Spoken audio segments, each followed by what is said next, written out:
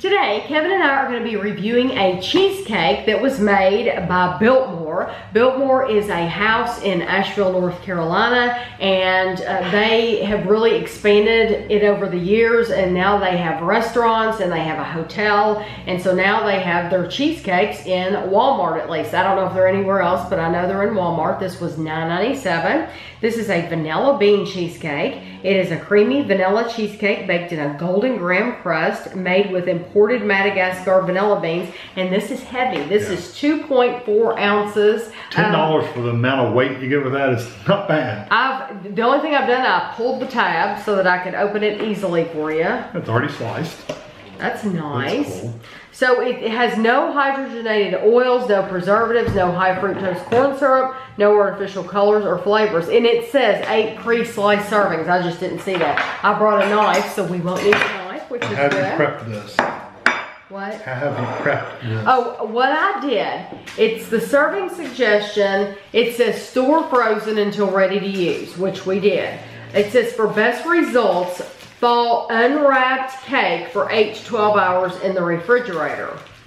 you glued it down. But, It wasn't re- and then you return the cake in the refrigerator and use for uh, seven days. So this will be good for seven days. The reason I didn't unwrap it is because I knew it would be in the refrigerator for 24 hours. And so I knew it would thaw in 24 hours, even in the wrapper. That's why I left it in the wrapper. It Okay. smells really good. Uh, individual slices can be thawed in the refrigerator or in the microwave for a quick treat. Microwave slice on high for 10 to 15 seconds on a microwave safe plate. So do you have to heat it? No, they're saying if it's frozen. Oh, if it's frozen. Okay. Okay, I understand. Um, let's see. What do you want to know? One slice. Why don't we half? a I was gonna slice? say, I'm not eating the whole slice. Let's half a slice because I'm going to tell you how many calories one slice Oh, is. no, oh. One slice is 410 calories. Yeah, that's probably all right. So I'll just scoop this on the side. we're going to half it.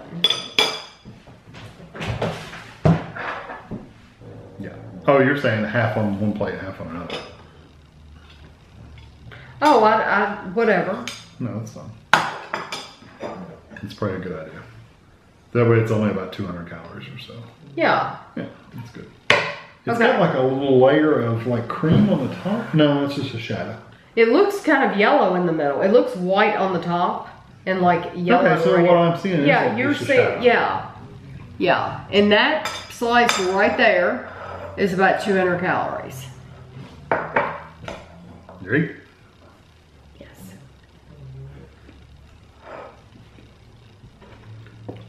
Mmm. Good creamy consistency. Very It's good. creamy. Very thick. I like the graham cracker crust. You can. The vanilla is good. Mhm. It does have a little bit of that sour. Yes, flavor. it does. A yes. little bit. It's not. It's not bad enough to make me not want to eat it that way. It's really good. Mm-hmm. That's excellent. I'm more impressed with the texture than anything. I love the texture. I don't know that I've had a cheesecake that thick before.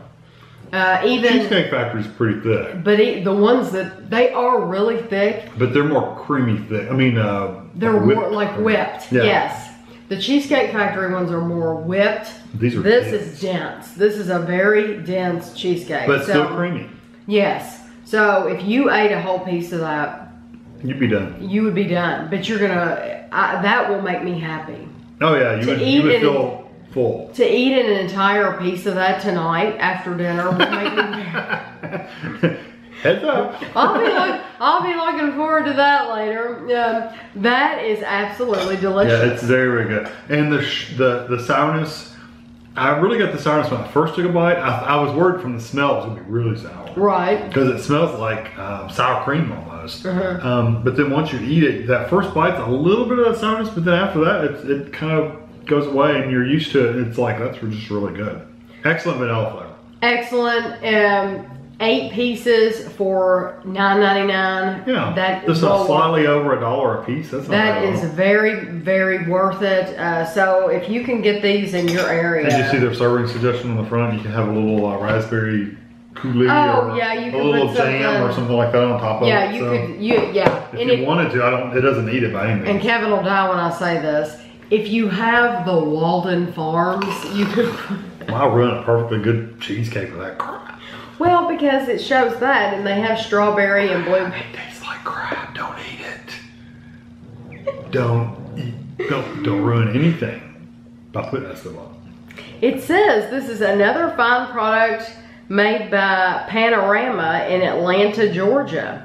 So that's interesting. But Hmm. Yeah, I guess they got the recipe Yeah, uh, from Biltmore. Yeah. Yeah. So anyway. Well, you would think, or they just stuck their name on it. Very, very good. They are very They good. have the house on there too. Trust me, Yeah. this is a Biltmore recipe or it wouldn't have that on there. That's the mark of the real thing.